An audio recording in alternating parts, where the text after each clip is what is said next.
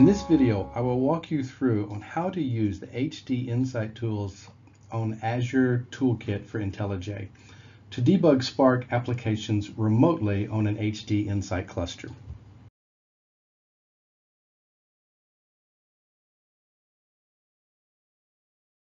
Let me first create a Spark Scala application. Click Create New Project in the Welcome Start window. Choose HD Insight. Select the project template. For the demo purpose, I am choosing Spark on HD Insight Cluster Run Sample Scala template. Enter project name and other fields.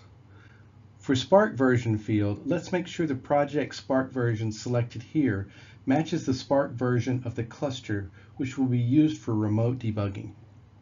Click Finish to create the Scala project. Then click src to main to Scala folder to open my code. Now I'm going to set up the remote debugging configurations. Click Edit Configurations menu on the top right to edit the configurations for remote debugging. Click the plus sign in the Run Debug Configurations window.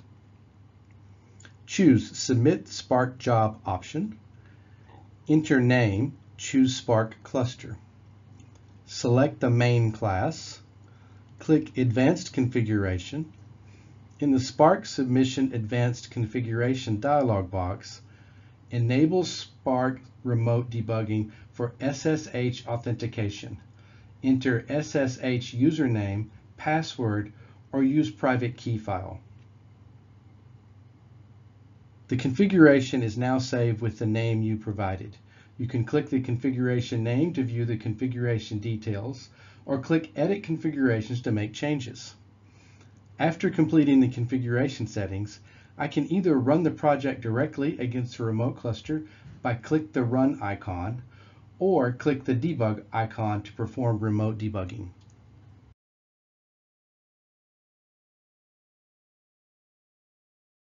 In the first scenario, I will show you how to run a Spark application on a remote Spark cluster, which I have just configured. Click the Run icon to start the running process.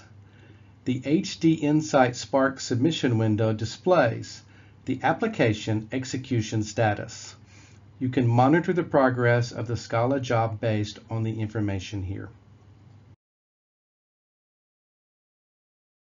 Now I will show you the remote debugging process. First, let me set a breaking point. Click Debugging icon. The debug window displays the debugging status. Code stops at the breaking point. I can now view parameter and variable information in the variable window. Click Step Over to proceed to the next line of code. I can further step through the code. Click Run to resume the program. I can review the execution status in the HD Insight Spark submission window. My third scenario is to do remote debugging as well as fixing bugs at the same time.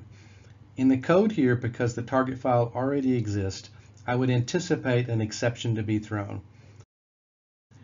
Set up breaking points.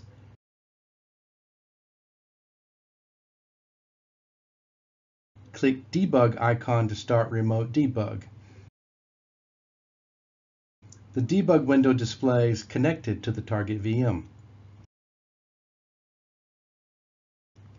Again, it stops at the breaking point. The parameter and variable information are shown in the variable window. Click Run icon to resume program. The exception is being caught as expected. Continue Run the HD Insight Spark submission window displays a job run failed error. Let me try debugging again and show you how to dynamically update the variable value using IntelliJ debugging capability. Click Debug icon again and start Remote Debug.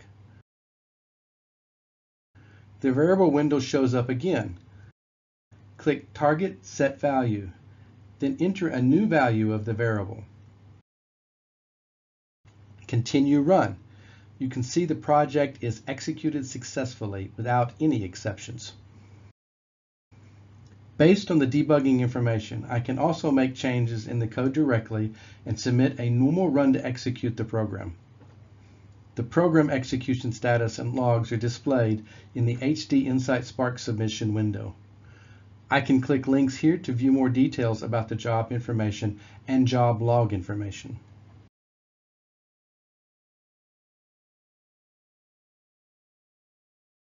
Thank you for watching. Please start to use our new remote debugging feature to easily debug applications remotely on the HD Insight Spark cluster. You can find the overview of Apache Spark on Azure HD Insight, HD Insight tool for IntelliJ documentation, and remote debugging instructions from the links on the screen. If you have any questions, don't hesitate to contact us.